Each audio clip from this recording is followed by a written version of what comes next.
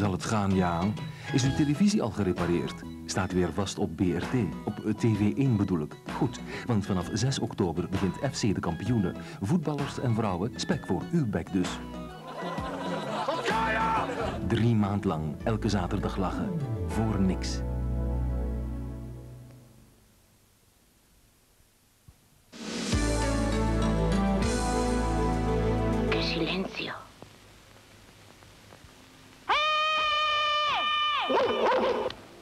Zijn alle vogels verdwenen.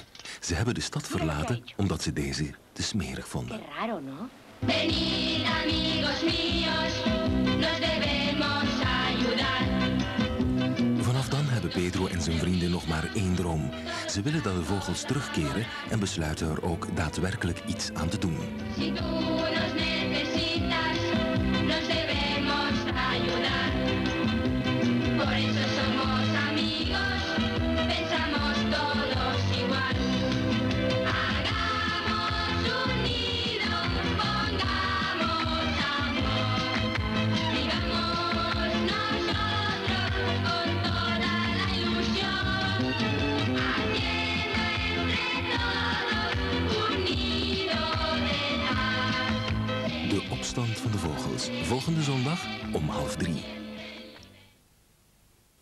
Merlina is niet half zo maf als jullie. En nog minder als u, baas. Zwijg! Achterbakse troglodiet. Of ik maak hamburgerbeleg van je hersenen. We moeten een andere tactiek volgen. We moeten de gevoelige snaar betokkelen. Goed geprobeerd van Sardonis, maar niet met mij. Wordt de schurk Sardonis eindelijk ontmaskerd? Het geheim van Sardonis, het tweede Merlina-boek, ligt in de boekhandel, maar is ook te verkrijgen door overschrijving van 348 frank op rekening van de BRT 3x0 streep 007 4040 streep 29.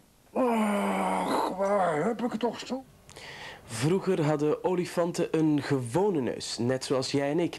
Maar op een bepaald moment is die ineens langer geworden. Zo lang dat het een slurf werd.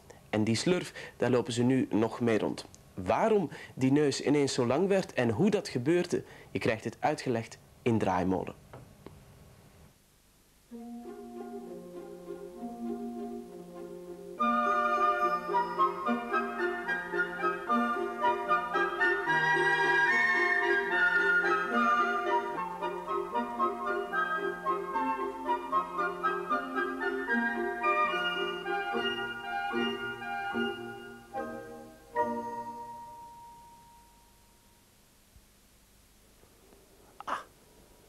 Zeg eens, is jullie dat ook al eens overkomen?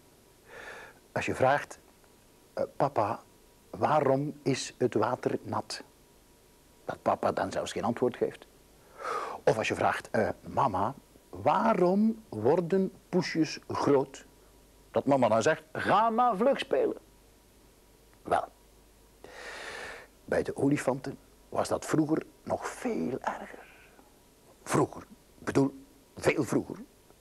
Toen het kleine olifantje op tocht ging naar de Limpopo-rivier. Want als je bij de olifanten vroeg, waarom zus, waarom zo, dan kreeg je zo een klap rond je oren. En het kleine olifantje kon niets terug doen, kon niet terugslaan. Met zo'n klein snuitje. Zo lang maar, zo. Zo'n klein snuitje. Dat is dan ook de reden waarom het kleine olifantje op... Ah, ah, maar jullie denken toch niet dat olifanten altijd zo een lange slurf hebben gehad? Nee, nee, dan vergis je je. Moet eens goed luisteren. Hier. eh, hier. Hoe de olifant een lange slurf kreeg.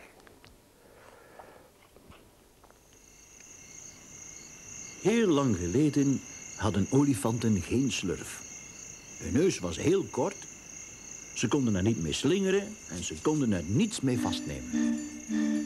En in die tijd was er eens in Afrika een klein olifantenkind dat ontzettend nieuwsgierig was.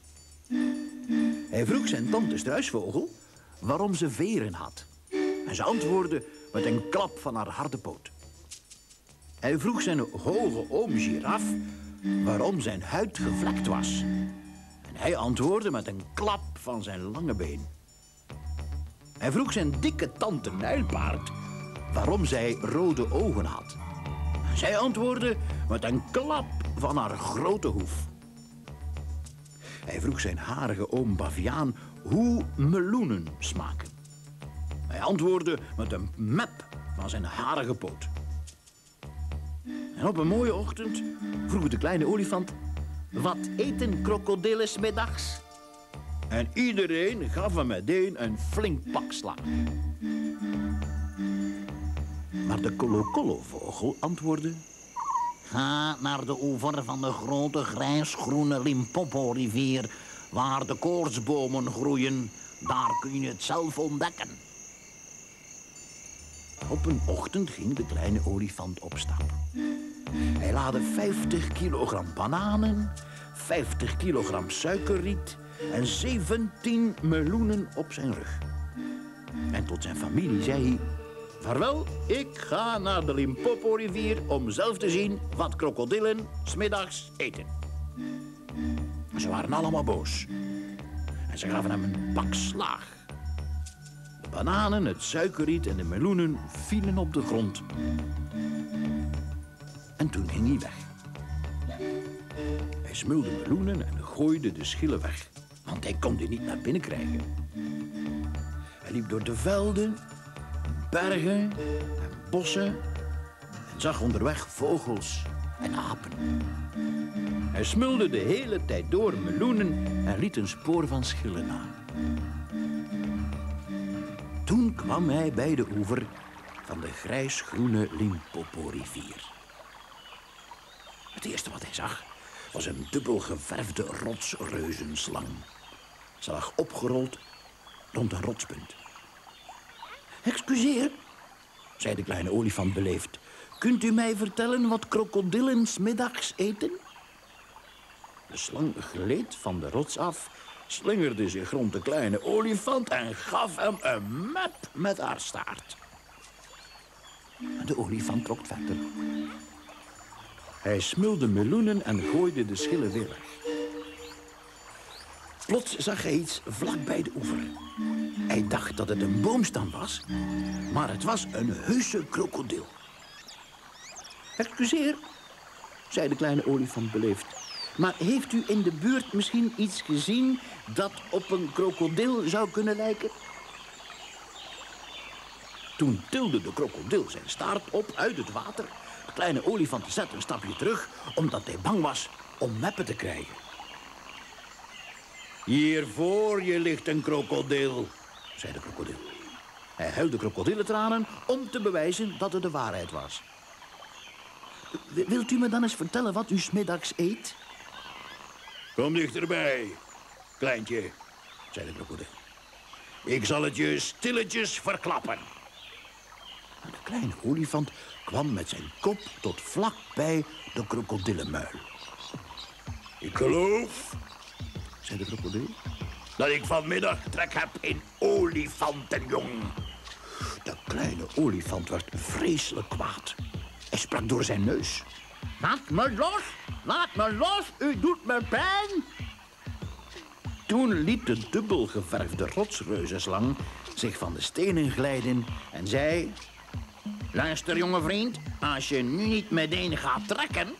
dan ben ik ervan overtuigd dat de krokodil je in het water zal sleuren. De kleine olifant zette zich schrap en trok en trok en trok... en zijn snuit werd alsmaar langer. Maar de krokodil liet zich in de rivier zakken, klopte met zijn krachtige staart het water tot schuim. En hij trok, hij trok en trok even hard. Telkens rekte de snuit van de kleine olifant verder uit. Kleine olifant begon te schuiven. En hij zei door zijn neus, die al meer dan een meter lang was... Dat gaat me te ver. Toen liet de dubbelgeverfde rotsreuzenslang zich uit de boom glijden, sloeg haar staart in een dubbele knoop rond een achterpoot van de olifant en trok mee. De krokodil loste de snuit van de olifant met een doffe knal, die hij langs de oevers van de hele Limpopo-rivier kon horen. En daar zat de kleine olifant dan.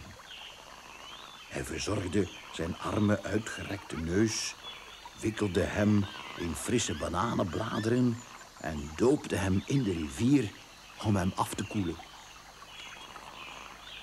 De kleine olifant zat daar drie dagen te wachten tot zijn neus zou krimpen. Maar dat deed hij helemaal niet. De krokodil had de snuit uitgerekt tot een heuse slurf. De olifant maaide een bosje gras en propte het in zijn mond. Hij zoog koele modder uit de rivier en spoot die op zijn kop. Dat had je allemaal niet gekund met je korte snuit. zei de slang. Wat zou je ervan denken om eens iemand een pak slaag te geven met je nieuwe snuit? Prima idee. Ik denk dat ik maar eens opstap om het uit te proberen. De kleine olifant liep terug naar huis, dwars door Afrika. Hij plukte bananen, maaide gras, sloeg naar vliegen en trompette met zijn slurf. Hij gaf een nijlpaard een pak slaag om te kijken of het lukte. En de schillen die hij had rondgestrooid, raapte hij op met zijn slurf. Een donkere avond kwam hij bij zijn familie aan. Ze wilden hem meteen een pak slaag geven. Maar de kleine olifant rolde zijn slurf uit en sloeg zijn broers in hun knieholtes. Waar heb je dat geleerd? Wat is er met je slurf gebeurd? En de olifant vertelde het hele verhaal. Hij deelde meppen uit aan de hele familie. Hij gooide oom Baviaan bovenop een wespennest, trok tante Struisvogel de veren van het lijf, sleurde oom Giraf over een doornstruik en blies tante Nijlpaard bellen in haar oor. Maar hij let erop dat ze de kolokolo-vogel met rust lieten. De hele familie, de ene na de andere, haastte zich naar de brede oevers van de grote grijs-groene Limpopo-rivier, waar de koortsbomen groeien, om van de krokodil een nieuwe neus te krijgen. Toen ze allemaal weer thuis waren gekomen, gaf niemand nog meppen aan iemand. En sinds die dagen hebben alle olifanten die je ooit ziet, en al diegenen die je nooit ziet, een grote lange slurf. Net zoals de ontzettend nieuwsgierige jonge olifant.